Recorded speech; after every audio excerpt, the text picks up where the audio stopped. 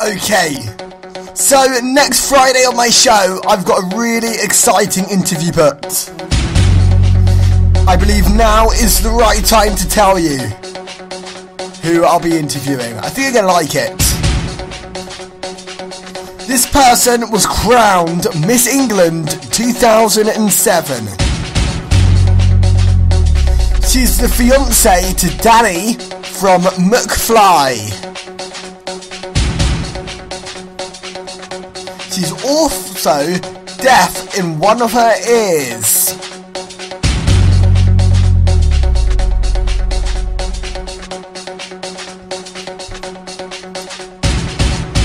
She was recently fitted with the Phonak Nano hearing aid by Rony Ganguly from Pin Drop Hearing, Harley Street in Paddington. I'm proud to announce that next week I'll be interviewing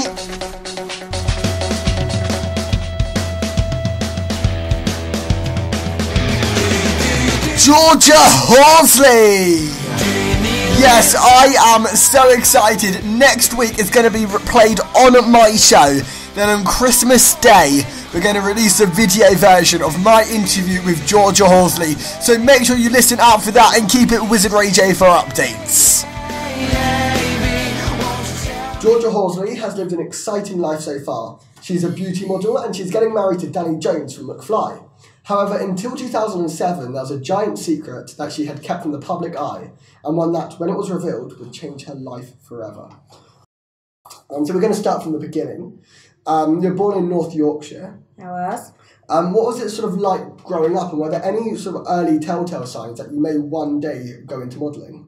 Um, no, I think I was one of those ugly duckling stories. um, as a child, I lived quite a, a tomboyish life. Spent most of my life climbing trees, digging holes, like ev- everything a tom a, a tomboy would do. But um, yeah, I had a lovely little life and lived in a little market town, and it was all very nice. I had a good group of friends, and no, there was no signs ever that I would become a model. So, as I say, so you started off sort of very tomboy. Yeah. When was it roughly that you sort of started getting into- Probably at about 16, Okay. I kind of became a bit more of a girl and, um, yeah, developed a love of, of all things fashion and and beauty. And it went from there, really. So going going back a bit, at the age of two, a school nurse, to the surprise of the family, discovered that you were deaf in your right ear. Yeah, I was, um, well, it was when I was four. Oh, sorry. Yeah, um, and I, I started like preschool, and they um, they did all the tests to check, you know, your sight and your hearing and, and everything. And the school nurse detected something probably wasn't quite right and told mum and dad about it.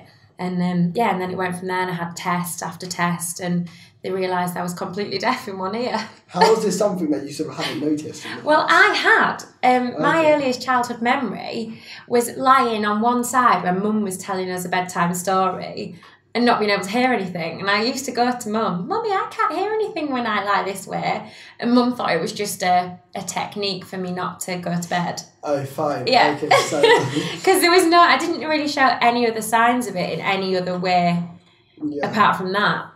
So, what was the reaction like from your family when? you- I think mum felt awful. She felt she felt like the worst mother in the world. But um, you know, it wasn't her fault. And they were just I think they were they were happy that it had been detected, you know, fairly early. So, I mean, it was only a short while before you found out, though, that you'd gone to hospital with meningitis. The doctors did a checkup on you then, and Yeah. everything was sort of. I don't. I don't know how it got missed to be honest. Yeah, I don't know. Uh, obviously, some a fault of some doctor somewhere, but Did you ever sort of feel angry that maybe had you found out before? I mean, do you think? I don't think? I'm, I'm not I'm not angry at all. I don't think to be honest, if it had have been detected earlier on, there's much else that I could have had done that I haven't had done already. Because back God, it was so long ago now. Back then, the only hearing aid that they could offer me was something really big, and it was, you know, in a battery pack. I had, I had to have a wire going down the back of my head, and and it just wasn't. I didn't want it. I, like you know, when you're young, when you're a young girl, 10 years old, you don't want a big you know, hearing it on your head. So were you more than happy to sort of live for a while her? Yeah, yeah, it didn't really bother me too much. I think later on in life I realised there was a lot of things I must have missed. Yeah. Um, but but back then I didn't know. I didn't know that people thought I was ignoring them and I was missing out on conversations quite as much. When, in fact, when I was younger, um, for a few months I was fully deaf. Because I Were was- you? Uh, yeah, I was. I was born with some hearing complications. I mean, now it was fine. yeah. Um, and so, but I never had that experience of, you know, I always knew that it was only for a short while. yeah. Um, what was it like for you growing up, knowing that this is something that could never go? I think what frightens me the most out of anything is that the older I get, the worse it'll pro- it'll get because you know as you get older, your hearing does go. So that's probably the one thing that worries me more than anything. How did you sort of learn to embrace it though? Like today? Um, I just I I accepted it and accepted that I needed to tell people about it because beforehand I wouldn't tell anybody and I'd sit there in a conversation. You know, if we were sat on a on a round table, a square table, I mean that'd be my worst nightmare. And I was sat at this at this end and that Okay, everybody's yeah. voices were here. Um, and I wouldn't tell anyone. So I'd just sit there in silence and people would Okay. think I was rude. Uh, That's what would happen. And and like I'm the most talkative person, so it upset me that that's what people would think. yeah. Um, do you think then that how much did that sort of ch- shape your childhood? Yeah, pro- probably didn't give people the best opinion of me, which is really bad. Thank God I made the friends I made who all knew, you know, what was going on and and how it was difficult for me sometimes. Yeah, I mean, growing up, then you got ten GCSEs, an A level in art, two AS levels in geography and sociology, a diploma in anatomy and, and physiology, Yeah. and a Cross therapeutic care course qualification. yeah. That's not sort of the normal signs or a normal model. Really. no, no. I mean, I can't say I'm like a member of Mensa or anything, but um, I'm not. Yeah, I'm not um, a dumb blonde. Yeah. So, I hope they don't come out anyway. when did sort of pageantry start for you? Um, it started when I was about 17, and um, Mum had seen a little article in our local newspaper for Miss York. Um, and I, it was nothing, I, I'd never thought about doing anything like that. And Mum was like, oh, just enter. And a few of my friends had said, oh, we think you'd be quite quite good at modelling and stuff. Um, I just didn't have the belief. So I entered because I was like, well, no one will know, it's fine. And then I went on and won it. So then Oh, wow. everybody knew. and then I was like, oh, God. what were your plans before then? What did you want to do? I wanted to be a makeup artist. Okay. Um, yeah, that that was that was my plan. So I, I guess you, you traded that in and Yeah. went for pageantry. Yeah, I wanted to be on the other side of the camera, Yeah. and I've ended up in front of it. Yeah, Yeah. that's not too much of a bad exchange. No, no, I'm happy. The story of the Miss England 2007 pageant, which you won your crown in, um, is quite a rocky roller coaster. A lot happened in that one pageant, and that definitely shaped the person you are today, or at least your story. Um, it was internationally reported. Before, this is let's go a little bit before the um, hearing incident when everybody found out. Yeah. Um, it was internationally reported that um, the representatives of Miss England pageant committee asked you to fasten up a little bit um, to get a more sort of womanly figure and help end anorexia among models. Yeah. So can you shed some light on the story? Then? that was quite hard for me because my figure is what it is and i you know i'm not you know i'm not stick thin by any by any stretch and i'm not kind of like a you know a plus size i'm just to me normal i don't not eat you know i, I, I, I have a healthy diet um, so it's quite hard for the media to have picked up on that because i didn't think there was anything particularly wrong with my figure so yeah when when you've got the media having that sort of attention on you that you've never had before. It was difficult. Especially it was quite, I guess, quite a sensitive subject. Yeah, and plus I was only 18 at, at that. And so, you know, and by that point I hadn't finished my gr- growing and I wasn't, you know, I've definitely got a more womanly figure than I had now than I had back then. Yeah. What do you think then of sort of the nature of these beauty pageants? And did that ever sort of put you off? No, I mean, it it was more the media that did that than the beauty pageants. Okay. um, they never told me to lose weight, put on weight, anything. And I won it. I won the competition how I was. It was only after I'd won the competition that that all kind of came came about. And of, especially um, the recent appearance of Amy Willerton on I'm a Celebrity. Yes. Um, and she that was sort of very mixed coverage of her. yeah. Um, so I mean, what did you think of the whole situation of her in the jungle? I, I think she she was hard done by in the jungle. To be honest, she's I've met- I've met Amy a, a few times, and she is a really nice girl, really genuinely nice. Um, and yeah, I think people are quick to judge beauty queens, and they were very quick to judge her. Um, and they were quite cruel with some of the comments. I thought Rebecca Adlington, you know, she that was fine. She was just self conscious, but um, was it Lu- was she called Lucy Pudge? Yeah. Yeah, I thought she was mean. I thought she was quite mean. So I mean, what do you think about people jumping to conclusions on sort of these um, you know pageant girls and Yeah. crowns? I mean, I guess that's not really fair then to. No, it, it annoys me. It really, really annoys me. Um, and I've done numerous debates um, on radios with feminists about the whole beauty pageant. And and actually, I think I won both of the debates that I did. Um, yeah, it just it, it really gets my goat. I, I guess yeah, if you're going to enter a beauty pageant, it's your choice. Yeah, exactly. And you know, everybody does things that they're good at. And Yeah. it just so happens we're good at, you know, modelling and promoting what we're passionate about and talking in front of front of lots of people and uh, Yeah. and, and so on. Yeah, you decided to keep your um deaf ear quiet during the Miss England trials. Yeah.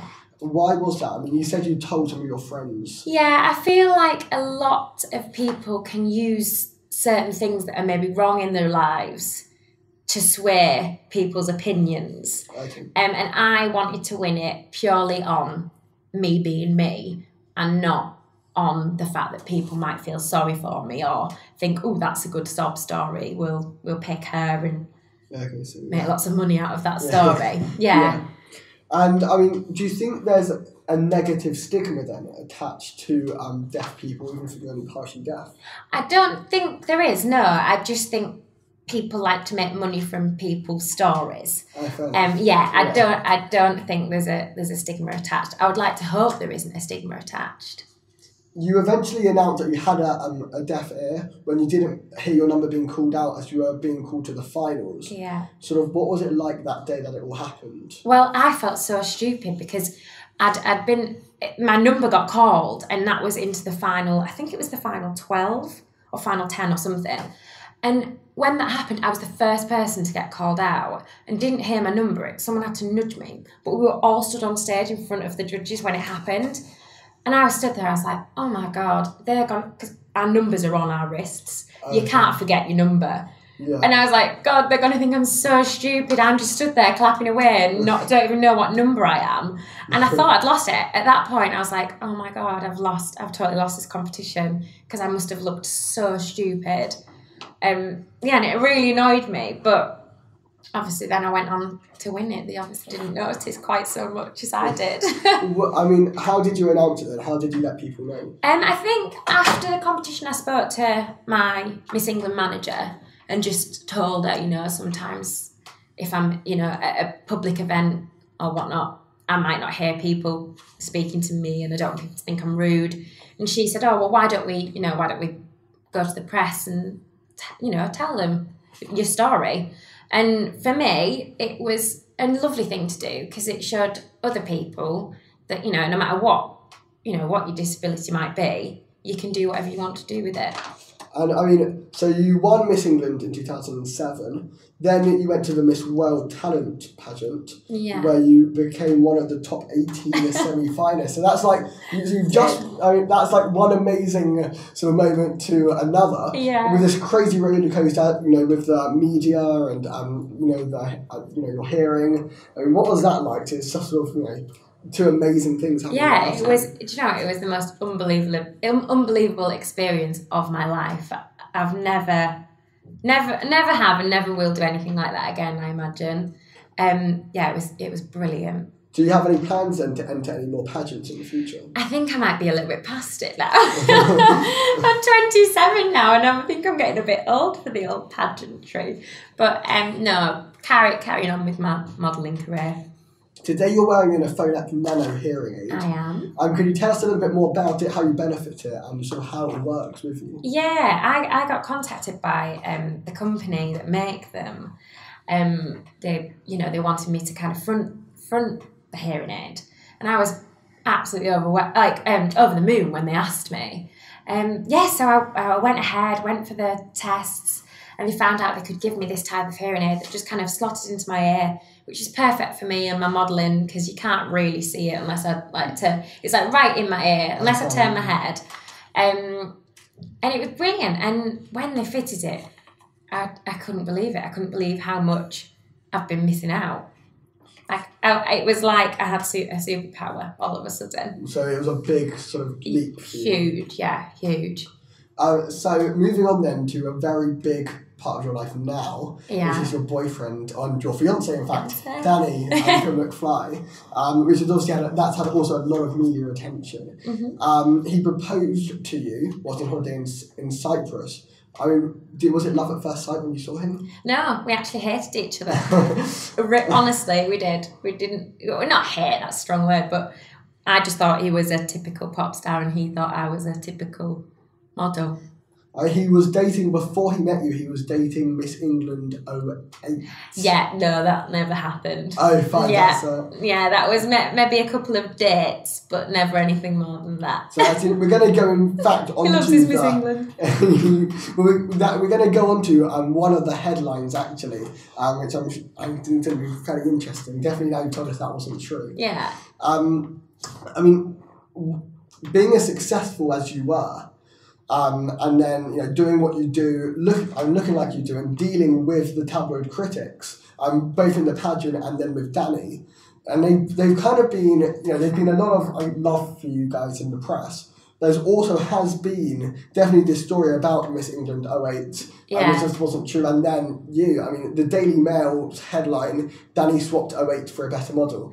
So, um, you know, and especially when you know that there's a deeper meaning and they've all got it wrong. yeah, yeah. I mean, what was it and what is that like to have to do with It's that? strange when press do that because they can take what they can do is take one thing that somebody says, and as long as they've said that, they can, you know, word it in whatever way they want. So you might say one thing, but it comes across as you saying it in a different manner, and Yeah. it's hard because you do have to be careful. And I've definitely learned along the way that, you know, you, you've got to be careful sometimes what you say.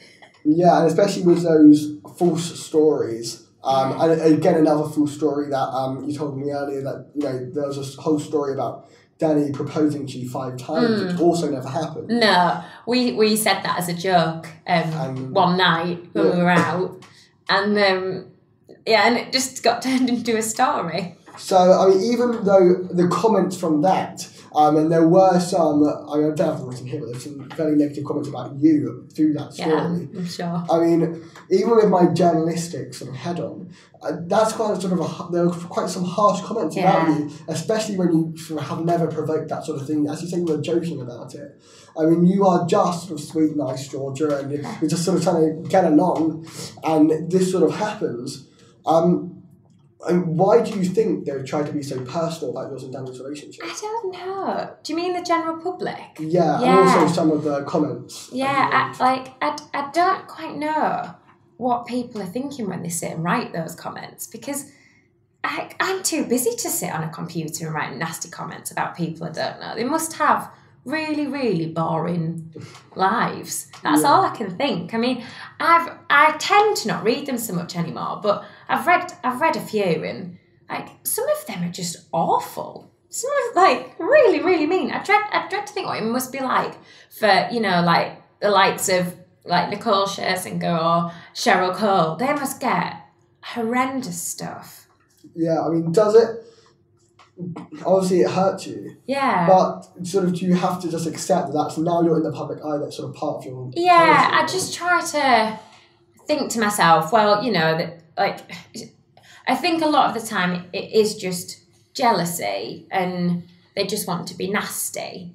Um, and I've just got to remind myself of that and just think, well, you know, I'm happy. I've got a nice life. I'm happy with my life. I'm happy with my friends and my family and Danny, and that's all that matters. And these nasty comments, you've just got to forget about them. But it's true. It's true. One, you know, you can have a hundred lovely comments and one nasty one. You'll always remember that one nasty one. Yeah, and Uh, this is the second McFly wedding then that's going to be happening after Yeah. Tom's um, one last year. Or was two years years ago. ago. now, I think.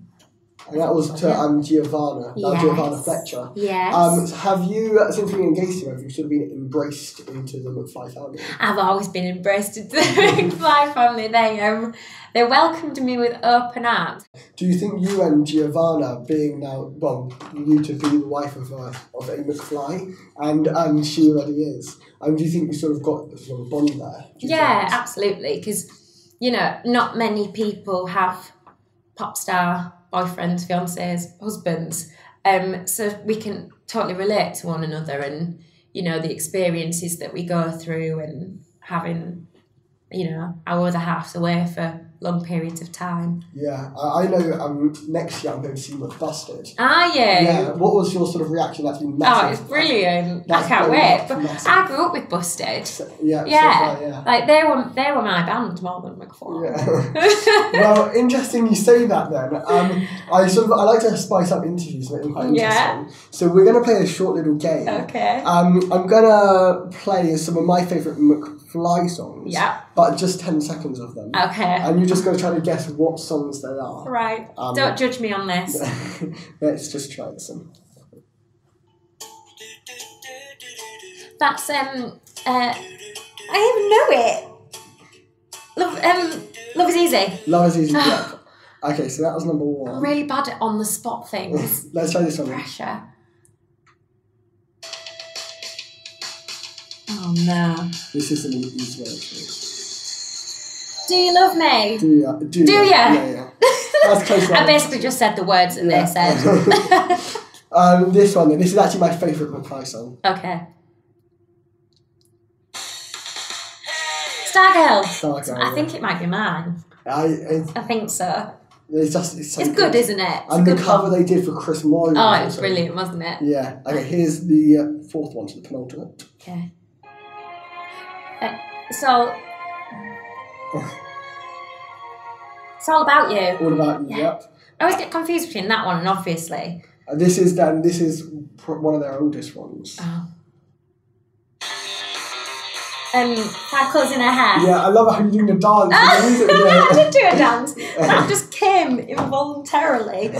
Like, yeah, so that's five out of five. When you're Yeah. orange, you didn't get any of them. Oh my gosh. Oh, I'm so pleased.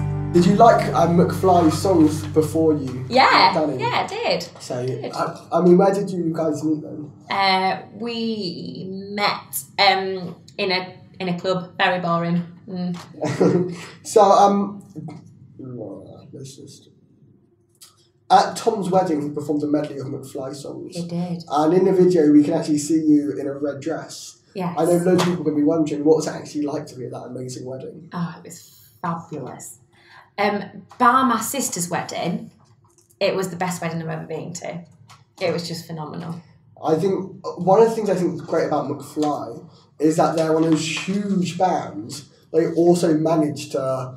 They they haven't sold out at all. There are definitely some boy bands there. That's very obvious.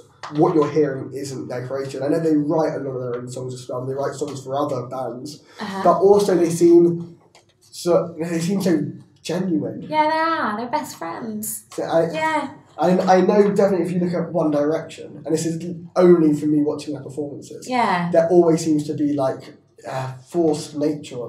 Do you sort of with think so? Yeah, I think definitely their children, recent children who need one. It Yeah. may just be because they're tired and just come out of a world tour. Who knows? But it is- yeah. there always seems to be in boy bands that tension, and I, yeah, I do think you can tell when when a band genuinely like love loves each other to bits, and the boys do like, you know, they, they do, and and it does show. I think it shows in the performances. Absolutely. and I mean their tenth anniversary performance at the Royal Albert Hall Oh, was sort of a confirmation of that. yeah. Ten, I mean, ten years together. It's I not a boy know. I know. It's good going, isn't it? yeah. I, I don't know what other boy bands have been together that long. I know. Currently, there's predictions that One Direction will only stay together for another three years. And Really? then, and so even so, they would have only been around for like six years by that time. So that's right. So not long then. So yeah. So Well, they, they've they've made their their big bucks, haven't they? Now, Yeah. so they're set up for life. I think. before entering the Miss England pageant, Um, you also hope to get a degree, I said, in design and media makeup. and Yeah. To go into there. Do you have any plans to, in the future, maybe go into any of these areas? I don't think so. I think kind of my, my career's gone off on a different tangent now, so I probably won't come back round to that. I'm not closing the door on it. I may well do. I still love doing doing anything to do with you know makeup, but um, no, I don't think it will go back. Do you have any, looking at the pageantry, do you have any sort of, and also, I mean, the, um, you know, losing your hearing and the timing in which you told people, do you have any regrets of anything that's sort of happened in the past? Um, any regrets? I don't think I do. No, I try. I try not to have any. I think I've probably made some mistakes, but not that I regret because I think every mistake you make makes you who you are, and it it really does. You know, like past relationships and and whatever. It it might be hor- horrendous at the time, but afterwards, I think you learn from it. You live and you learn, don't you? How do you also help and support people who are going through what you went through when you were younger um, with sort of hearing loss? I just want to show show people that go are going through the same thing as me that you know you can achieve anything you set out to achieve, and the technology now is so advanced. You know, when I was younger, it wasn't what it is now, and it wasn't the coolest thing. But now it's it's so easy to to get your hearing back, and without without it being quite obvious. Um, so yeah, I think I think that's something I want young the younger generation to understand and to not feel embarrassed by it and to make sure they do ha- tell people because that was one of my mistakes when I was younger and you know you don't want people thinking you're rude and don't speak. So, in reflection, then, would you have gotten a hearing aid, aid at a younger age, despite the fact that it was sort of very big and I probably wouldn't have got a really big one just because I just wouldn't want to. It's not, you don't like things like that when you're a young kid. But if it was like this, if, you know, current day, like what it is now, absolutely. Yeah, I wouldn't have had any hesitation of getting this hearing aid. brilliant? Well, Yeah. thank you so much for No, speaking you're to me today. welcome. Thank you very Yeah, much for you. having me.